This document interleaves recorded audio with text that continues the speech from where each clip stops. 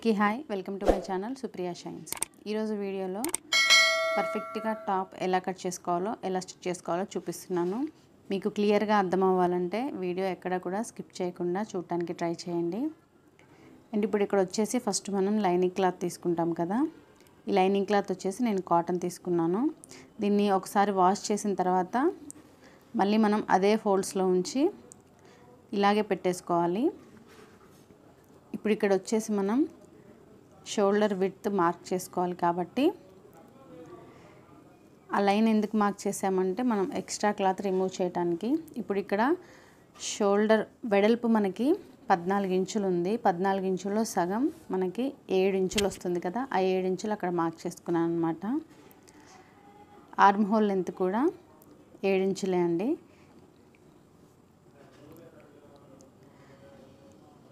ఇప్పుడు ఇక్కడ మనం ఆర్మ్ హోల్ లెంత్ కూడా మార్క్ చేసేసుకున్నాం కదా. ఇది వచ్చేసి బోట్ నెక్ టాప్ కాబట్టి షోల్డర్ నేను సెవెన్ ఇంచెస్ తీసుకున్నాను. నార్మల్ టాప్కి అయితే ఫైవ్ ఇంచెసే సరిపోతుంది. ఇప్పుడు ఇక్కడ వచ్చేసి ఫస్ట్ మనకి నడుం దగ్గర ఎంతవరకు ఉందో అంతవరకు మార్క్ చేసుకోవాలన్నమాట. అక్కడ థర్టీన్ ఫోర్టీన్ ఫిఫ్టీన్ ఇంచెస్ దగ్గర మార్క్ చేసుకోవాలి. అండ్ అలాగే కట్స్ వచ్చేసి ట్వంటీ టూ ఇంచెస్ దగ్గర మార్క్ చేశాను. సేమ్ యాజ్ టీజ్గా ఇక్కడ కూడా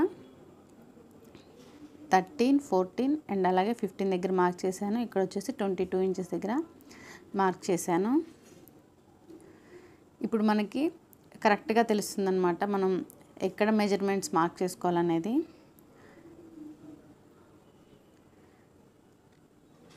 ఇది వచ్చేసి మన నడుం దగ్గర క్రాస్గా తిరుగుతుంది కదా స్టిచ్. అది వేసుకోవడానికి మనకి చాలా ఈజీగా ఉంటుందన్నమాట ఇలా మార్క్ చేసుకోవటం వల్ల. ఈ మెజర్మెంట్స్ మనం ఎలా మార్క్ చేసుకోవాలంటే ఫస్ట్ మనం మన వెనుక వైపు నుంచి టేప్ని మన మెడ దగ్గర నుంచి అలా కిందికి వదిలేసి ఎగ్జాక్ట్లీగా మన నడుము ఎక్కడి వరకు ఉందో అక్కడి వరకు ఎన్ని ఇంచులు ఉందో చూసుకోవాలి. అక్కడి నుంచి మనం కట్స్ ఎక్కడి వరకు పెట్టుకోవాలనుకుంటున్నామో అక్కడి వరకు ఎన్ని ఇంచులు ఉందో చూసుకొని కరెక్ట్గా మనం షోల్డర్ కోసం మార్క్ చేసాం కదా ఆ లైన్ దగ్గర నుంచి మనం వీటిని ఇలా మార్క్ చేసుకోవాలన్నమాట. ఇప్పుడు మనకి పర్ఫెక్ట్గా వస్తుంది.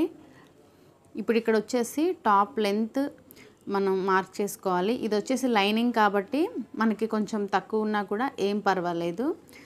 కానీ మనకి మెయిన్ క్లాత్ మాత్రం మనకి ఫుల్ లెంత్ ఉండాలన్నమాట. లైనింగ్ క్లాత్ కొంచెం తక్కువైనా ఏం కాదు. ఇక్కడ షోల్డర్ వచ్చేసి నేను ఆర్మ్ హోల్ వైపు నుంచి త్రీ ఇంచెస్ దగ్గర మార్క్ చేస్తున్నాను. లెంత్ వచ్చేసి ఫోర్ ఇంచెస్ తీసుకుంటున్నాను. బోట్ నెక్ అంటే ఇది పర్ఫెక్ట్గా ఒక టూ ఇంచెస్ లెంత్ ఉండేది కాదండి. కొంచెం కొంచెం డీప్గా ఉంటుంది ఇది బోట్ నెక్లోనే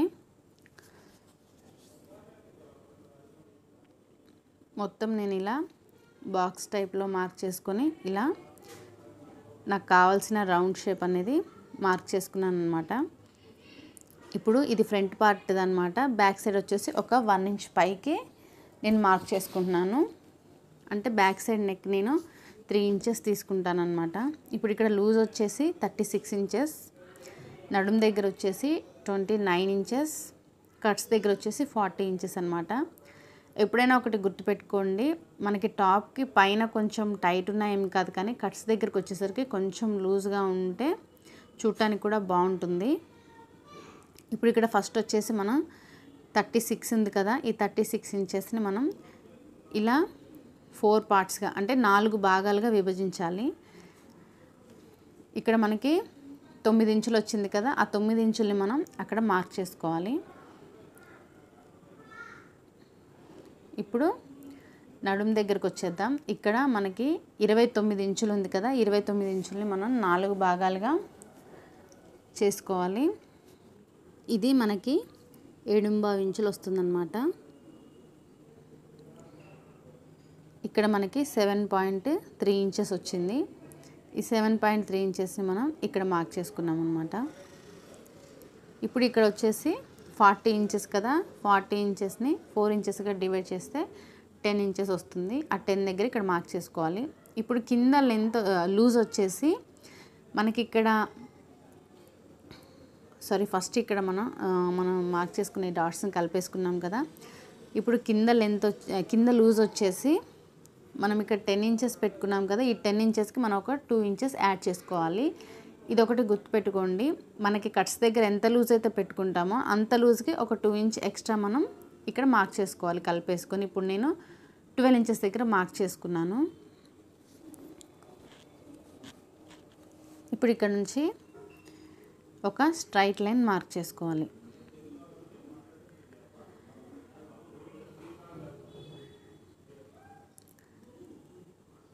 ఇప్పుడు మనకి కొంచెం కరువు తీసుకోవాలి కాబట్టి ఇలా చిన్నగా కరువు తీసుకుంటే సరిపోతుంది. దానికి కూడా పర్టికులర్గా ఇంత కొలత అనేది ఏమి ఉండదండి. ఇప్పుడు పైనుంచి మనకు కావాల్సినంత వరకు ఖర్చు ఎక్కువ పెట్టేసుకోవాలి. కానీ కట్స్ దగ్గర మాత్రం ఒక వన్ ఇంచ్కి మించి ఎక్కువ అస్సలు తీసుకోకూడదు. ఎందుకంటే హోల్డింగ్ చేసేటప్పుడు మనకి ప్రాబ్లం అవుతుందన్నమాట. స్టిచ్ చేసేటప్పుడు కట్స్ వంకర్ టింకర్గా వెళ్ళటం లేదంటే సాగటం లాంటివి జరుగుతుంటాయి.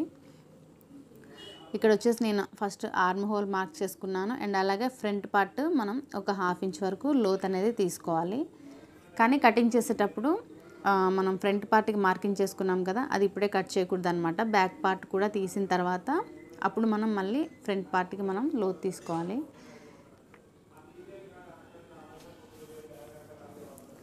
నేను చెప్పే స్టెప్స్ మీరు ఫాలో అయితే కనుక మీరు ఖచ్చితంగా మీ డ్రెస్ని పర్ఫెక్ట్గా స్టిచ్ చేసుకోగలుగుతారు. ఇది వచ్చేసి బోట్ నెక్ కాబట్టి షోల్డర్ వైపు నుంచి ఒక హాఫ్ ఇంచ్ మనం డౌన్లో ఇలా మార్క్ చేసుకోవాలన్నమాట.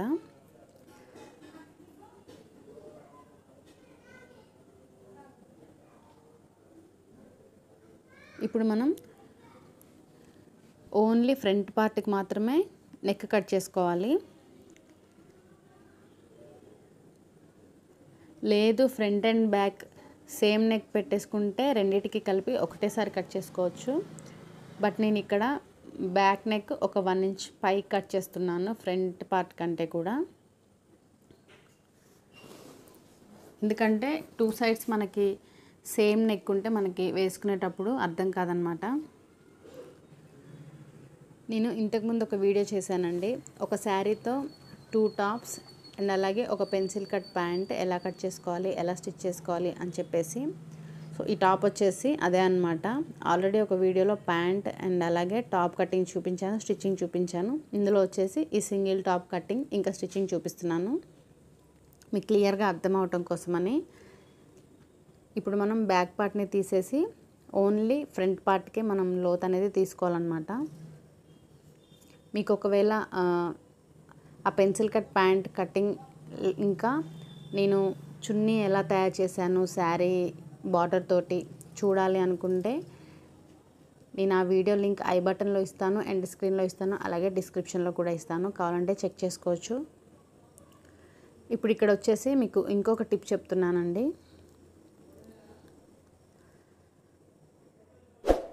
మన దగ్గర అంటే మార్కింగ్ చేసుకోవడానికి మనకి చాలా టూల్స్ ఉంటాయి.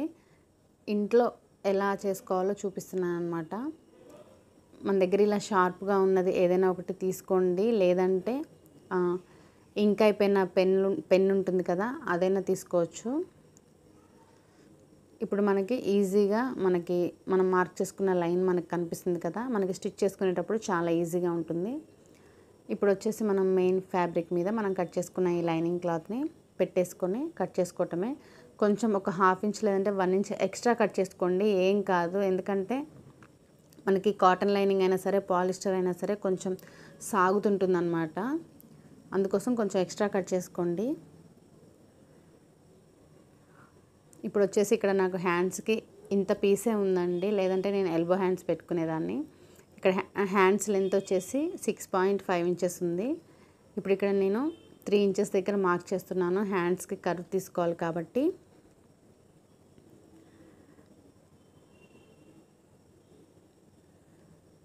ఇప్పుడు వచ్చేసి మనం లూజ్ దగ్గర మార్క్ చేసుకోవాలన్నమాట.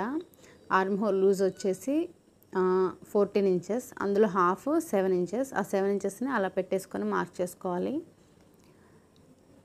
ఇక్కడ వచ్చేసి మన హ్యాండ్ లూజ్ ఎంత ఉందో చూసుకొని అక్కడ మనం మార్క్ చేసుకోవాలి. ఇప్పుడు ఇక్కడ మనకి ఎంత ఖర్చు కావాలో అంత ఖర్చు దగ్గర మనం మార్క్ చేసుకొని కట్ చేసుకోవటమే అండి. హ్యాండ్స్ చాలా సింపుల్ అసలు. ఫస్ట్ టైం కనుక ఎవరైనా నా ఛానల్ని చూస్తున్నట్లయితే సబ్స్క్రైబ్ చేసుకోండి. మీరు సబ్స్క్రైబ్ చేసుకోవటం వల్ల నేను ఏ వీడియో పెట్టినా సరే దాని నోటిఫికేషన్ మీ వరకు వస్తుంది. అప్పుడు మీరు నా వీడియోని మిస్ అవ్వకుండా చూడొచ్చు అనమాట అంతేకాదండి మీరు కామెంట్స్లో నన్ను డౌట్స్ అడుగుతూ ఉంటారు. నేను చాలా వరకు మీరు అడిగిన డౌట్స్ అన్నిటికీ వీడియో చేసి పోస్ట్ చేస్తూనే ఉంటాను. కానీ చాలామంది అది చూసుకోరు మళ్ళీ మళ్ళీ అడుగుతూనే ఉంటారు. ఒకసారి నా ఛానల్లో చెక్ చేసుకోవచ్చు మీరు. చాలా లాంగ్ ఫ్రాక్స్ కట్టింగ్స్ కూడా స్టిచ్చింగ్తో సహా నేను పెట్టాను.